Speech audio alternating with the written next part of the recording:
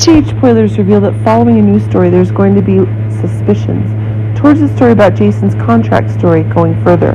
But it seems as if Steve Burton himself is getting news stories.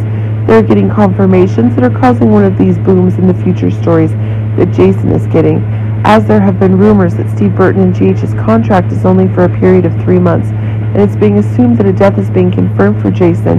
It seems like one of the news stories is going further if the news story is getting the very big existing stories that are making one of the new changes that are making the new dangers that Jason is facing. The pressure on Sonny is increasing more and more, but it seems increasingly like one of the new ideas is that the storyline Jason's getting is really taking hold. But it should be remembered that changes are still being made if Steve Burton has confirmed that his contract is for two years. And it's possible that one of the new ideas is making one of the changes new danger.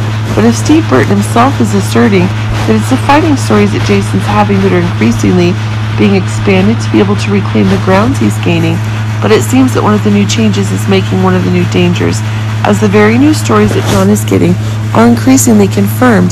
If Jason's time is getting less and less, this is making one of the new stories even more explosive.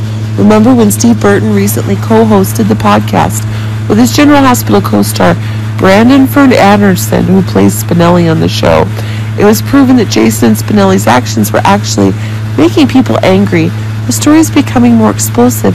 If Jason himself can give hints, and Spinelli can find answers about the threats that are controlling Jason. But remember that one of the news stories about the questions about the past and the two years of disappearance that Jason is having is making new new attractions that Jason's having increasingly stronger. Steve Burton is saying that Jason won't die again, and this is giving rise to one of the news stories that are increasingly being proven. But it seems that when one of the new changes together, and it's possible the person behind John is the new story actually the new danger, and that's causing the story to fight that Jason, with the help of Spinelli, is increasingly evident and a new discovery is being made.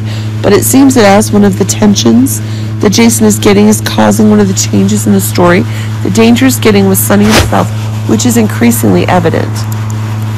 But it seems that when one of the changes, Steve Burton is also saying that his presence is getting hotter, and this is proving that exactly one of the news stories is making dangers, and maybe that precisely new order is being obtained under the very new conditions of the new boss of the mob is emerging.